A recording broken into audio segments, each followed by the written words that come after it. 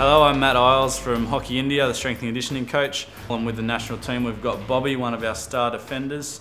Uh, today we're going to look at five exercises that you can do that's going to help you with your, with your hockey.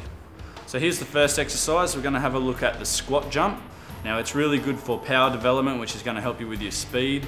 Uh, it's focusing on putting power into the ground, but it's also going to help us with our deceleration, which is a big factor for hockey. Okay, when you're running in to defend, to make a tackle, decelerative forces are great.